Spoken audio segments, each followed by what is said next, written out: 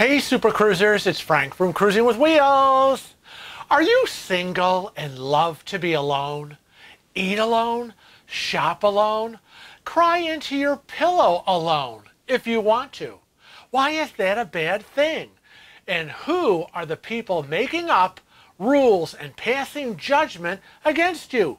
Find out how singles are discriminated against in this episode of Frank Pushes Back.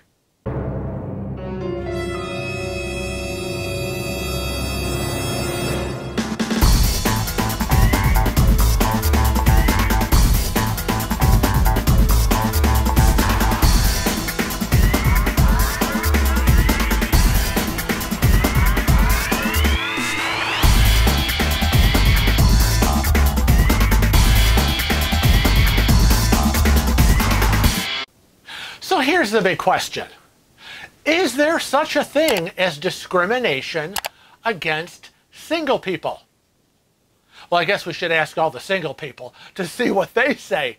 Because I'm thinking they're probably going to all say, mm, yeah. But you know what? Let's talk statistics first. Did you know that 50% of all adult people here in the United States are single? Yeah. And of those single Americans, it's pretty evenly split between men and women, you know, kind of 50 50. And in the entire world, supposedly there are 2.12 billion single people on Earth, as reported by from about 230 countries. That's where those stats come from.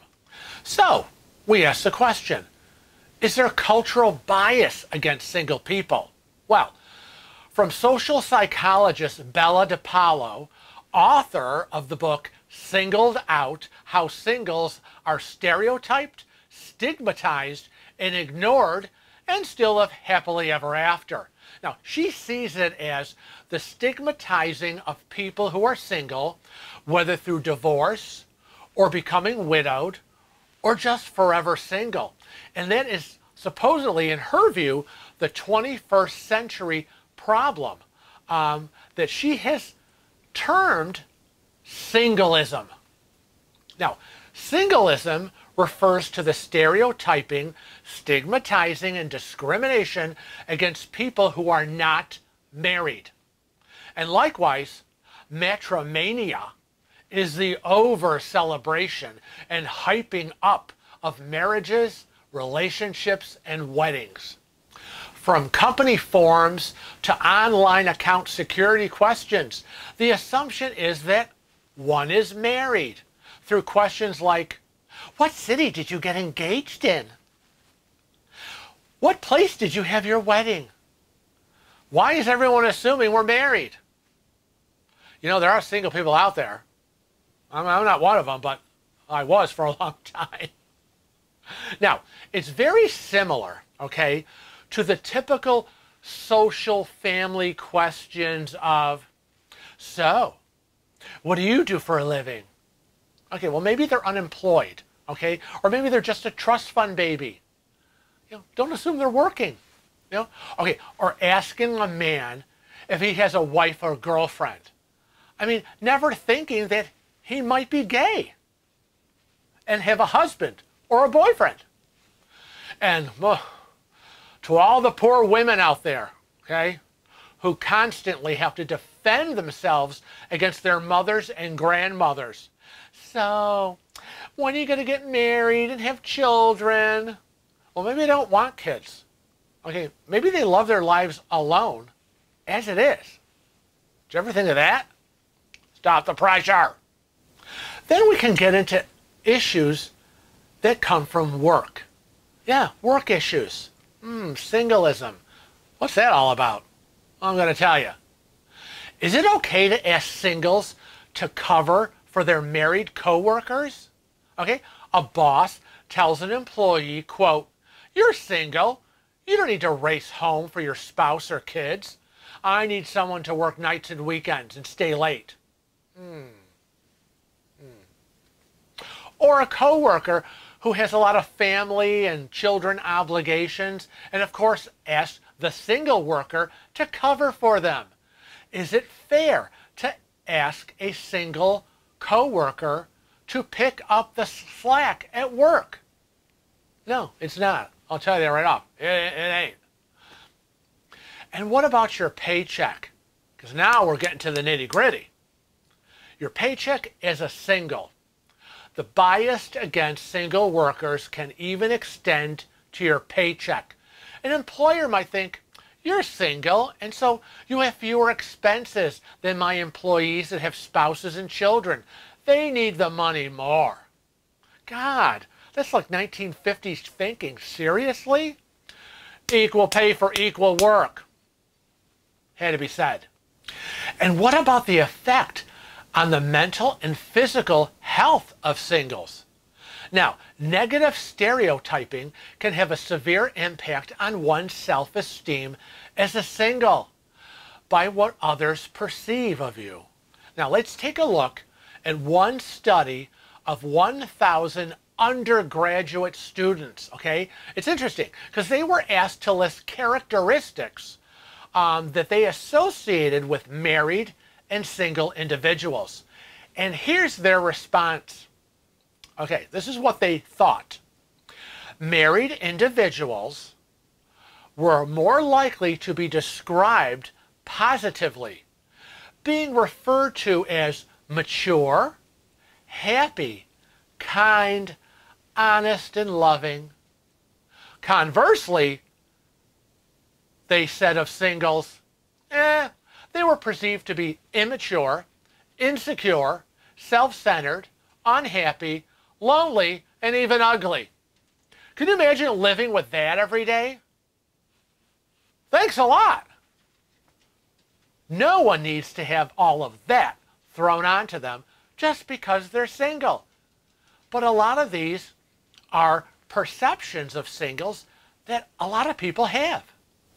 Now, another part of the study asked the same undergraduate students to describe married and singles at two different ages. One at 25 years old, and the other group of singles at 40 years old, and found that the negative traits of singles became more pronounced with age. 40 year old singles were deemed to be particularly socially immature, not well adjusted, and more envious. Mmm. Huh? Come on. These discriminations can manifest themselves into a host of mental and physical issues like weight gain, obesity, high blood pressure, as well as increased smoking, alcohol consumption, and substance abuse unmarried inequality sometimes results in more pressure on singles to do things that they don't want to do. Peer pressure, people! Enough! Now, Bella DePaulo states that the deficit narrative of single life may be costing people their rights and their lives. Now, deficit narrative is defined as teachings that explain only the negative parts of history, placing a group of people as victims of different societal problems instead of presenting a complete history of accomplishments as well. Okay? Very self explanatory. Again, focusing on the negative. Now, single people are not the only group unfairly portrayed as deficient by research labeled as scientific. Well, we all know early social science writings on people of color, as well as gay men and lesbians, for instance, also peddled deficit narratives, always focusing on the negative of our lives. So by now you're saying, why is Frank going on and on about all of this? Single people, singleism, what's the deal? What's the story? Yeah, there's a story. yeah.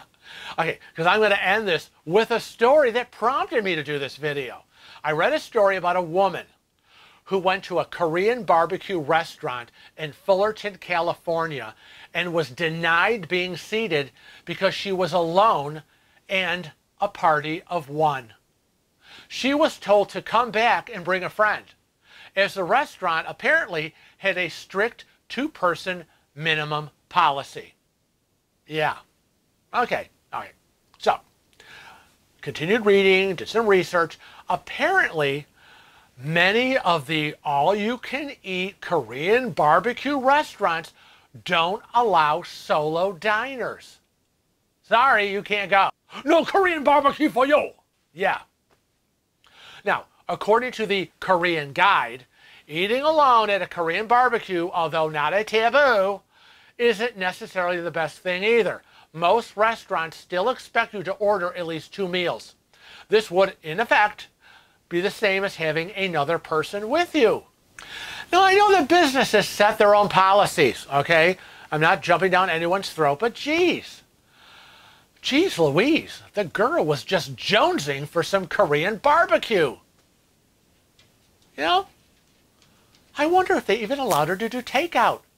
Hmm. Never thought of that. It's crazy. I'm a single and I can't eat at your restaurant? What era are we living in? When will the discrimination end? So there, I put it all out for you. Uh, let me know what you think. Comment below. What do you think? Is there singleism out there? You be the judge. I want to thank you for joining me today for this video of Frank Pushes Back. And on behalf of Kevin and myself, don't just watch our videos. Become a regular Cruising with Wheels family member and click that subscribe button and that little bell next to it. You'll get automatic notifications of when our videos go live and when we go live in our live streams. And remember, you can also find us on all the other social media platforms because we're on Facebook, Twitter, Instagram, and Snapchat. So I want to remind all of you to always travel safe and cruise often.